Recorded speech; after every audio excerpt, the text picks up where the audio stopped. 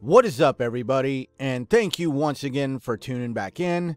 Today, we're going to talk about the bombshell that Microsoft dropped when it comes to their next exclusive game, Hellblade.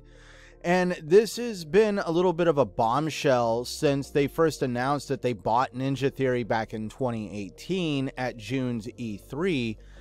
And the, this whole situation with Ninja Theory kind of is a little bit of an upset for the PlayStation community right off the get go because originally Hellblade was launched as an exclusive game, or at least announced back in August of 2014 as a PlayStation 4 exclusive.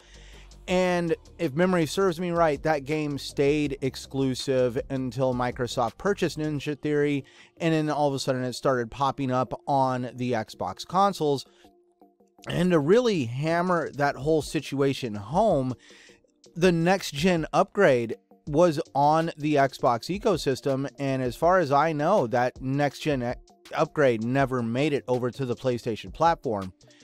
But in all honesty, Ninja Theory is a really great get for Microsoft. They are a very well put together studio, and they're honestly going to be setting the bar when it comes to future game development, both for artistic design, ingenuity, but also use of the Unreal Engine. We've already seen how the Unreal Engine 5 demos on like the Matrix demo and all the other stuff uh, like from the State of Unreal on YouTube. And the Unreal Engine is an absolutely awesome piece of technology. It's even being embraced by the film and movie industry to basically start crafting some really great cinematic experiences on the big screen and on your television at home. But going back to Ninja Theory, Hellblade, the original game, was created about 20 people. And Ninja Theory's philosophy that they are crafting inside the studio, and it's a, a philosophy that they call Dreadnought.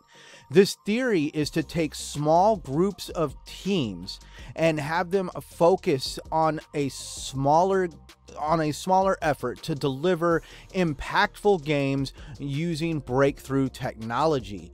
And they are showing this initiative through the Dreadnought umbrella of creating great games on their di- developer diaries on Ninja Theory's YouTube channel, and they're actually really great to watch. You should really check them out. There, there's some gr- amazing insight on both how they're implementing technology and also the science of mental health to craft their games we're already seeing some of this technology being implemented in some of their future endeavors like Project Mara with how they're implementing LiDAR technology and other surface mapping technologies to create a very lifelike experience that is going to reflect mental health in a very big way. And we've already seen some of this mental health direction in the first Hellblade, and they're going to go down that road even further with Hellblade 2. And we're really going to see their their crowning glory for embracing mental health and the connection of your mind and body through Project Mara. But going back to how Ninja Theory is really changing the way things are being done in the gaming industry is they even said that if you take all the developers that are currently working on all the individual games that they have going on in the studio, there is still less people working on these games combined than you would find at a major publisher working on most AAA titles. They really feel keeping teams small and being able to focus on the game in front of them is really crafting some very groundbreaking experiences. And I believe that's pretty much dead on. I mean, they are going to be setting a big standard for gaming in the future and it's going to be almost a standard of quality that other brands like PlayStation are probably going to have to start embracing as well when it comes to just how lifelike the the character designs are getting over at Ninja Theory, especially when it comes to Hellblade 2. We haven't seen any character designs for Project Mara, but at least the environmental design is absolutely mind blowing. But when it comes to the character design of what Hellblade 2 is presenting, this is really what's going to set the bar and also show the amount of quality that comes out of this studio to make them a flagship studio for the Xbox brand of studios. And that is the technology that they've kind of helped apart in shaping over time with Unreal Engine.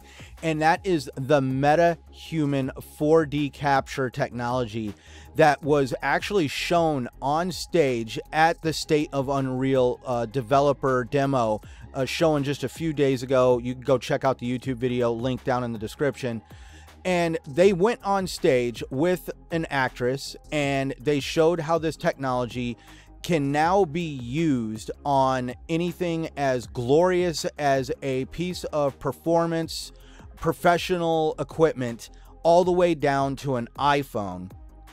And it was able to render in real time to a single computer on stage the the actress that was on stage with them, she actually talked about the Hellblade development and how when they would do some of the recordings for Hellblade, the motion capture and everything, it would take weeks, sometimes months to actually process the the data before they would even be able to view the results of the motion capture in in action. And if anybody understands un- uh, processing uh, information and data, anybody who uploads to YouTube or deals with Adobe, they know all about processing because literally I just had a video the other night that took a few hours just to process over to the YouTube servers for you guys to watch just like this video is going to take a couple hours just for it to process as well but now these processes are able to take place in real time using the Unreal Engine, and they can actually see a captured performer's animations compared to the animation on screen. They can literally compare the two of them at the same time to make sure that these animations are actually looking very fluid like and it just goes beyond that. As when the person is scanned in for starters they only need about three frames of the person's face for the the technology to map out their face and to create a rendering in a in a video game or cg world of that individual.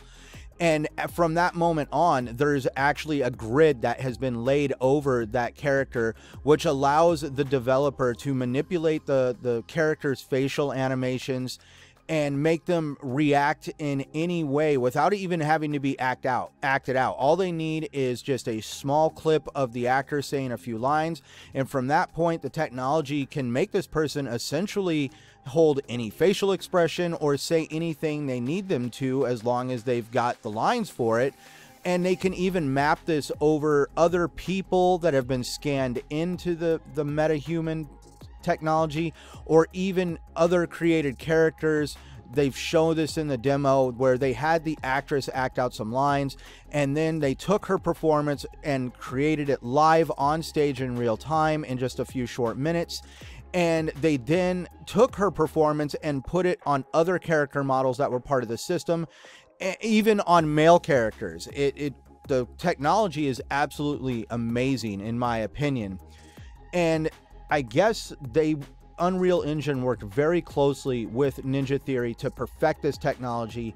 And now this technology is going to be implemented in a wide variety of games as long as the character models fit what they call the meta human standard of development so that way they can implement this technology on them. It's going to be really great for lifelike character builds in the future. And we're already starting to see these lifelike character builds emerge in other games like the new Lords of the Fallen. Lords of the Fallen have also implemented some stuff into their game as well from the Unreal Engine, and they even have a little bit of a custom tool set that they're using.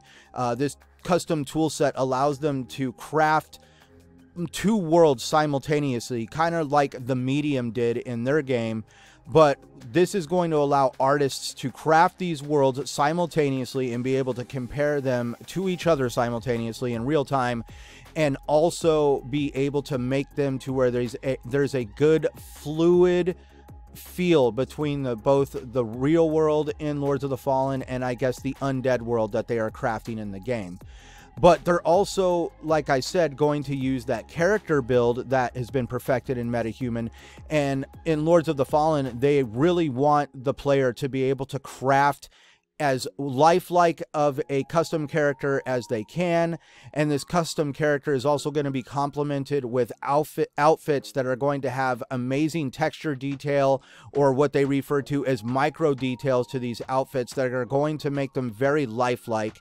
And they're also harnessing uh, another part of the Unreal Engine referred to as the Unreal Engine Chaos Physics Engine, which simulates lifelike lifelike movements of clothing, chains, hair, belts, and other features of the character to really ground a, the player experience in, as realistic as possible.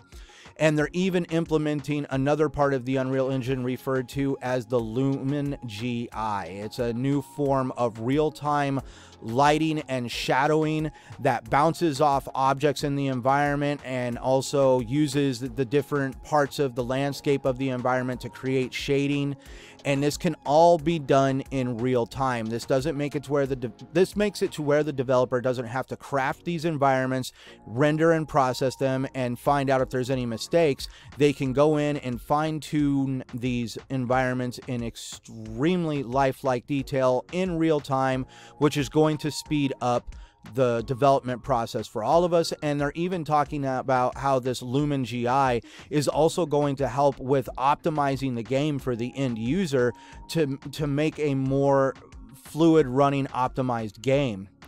So in closing, when it comes to the future of gaming, the Unreal Engine is going to change a lot for the gaming industry. It's going to help streamline gaming development where developers will be able to concentrate on more important things in the game and be able to craft amazing experiences. This is going to open the door for more developers, smaller developers even, to create even bigger, grandiose experiences for us to all enjoy. And it's all kind of really starting and stemming from the support and the innovation that was provided by studios over from Xbox, studios like Ninja Theory, and even the Coalition. The Coalition helped do uh, the, the the Matrix demo that came out, I believe, like last year for the Unreal Engine 5, which was absolutely amazing. Go on your Xbox, check it out right now. You'd be mind blown if you haven't already. But this just really shows how Xbox and the studios under their umbrella play an important part in the gaming industry and help pushing that innovation forward. And I am really looking forward to what is going to happen next for gaming, especially with the implementation of the Unreal Engine 5. For more content like this and more information about the Unreal Engine 5 as it comes out, please stay tuned to this channel, subscribe, like, and I really enjoy all the community support that I've seen recently on my channel. I really can't thank you enough, and I look forward to continuing this journey with you all. So, till next time we meet again, my friends, Thank you for tuning in. Thank you for watching. I am Centurion1307 and stay safe out there and remember to always play what you love on what you love no matter what anybody says.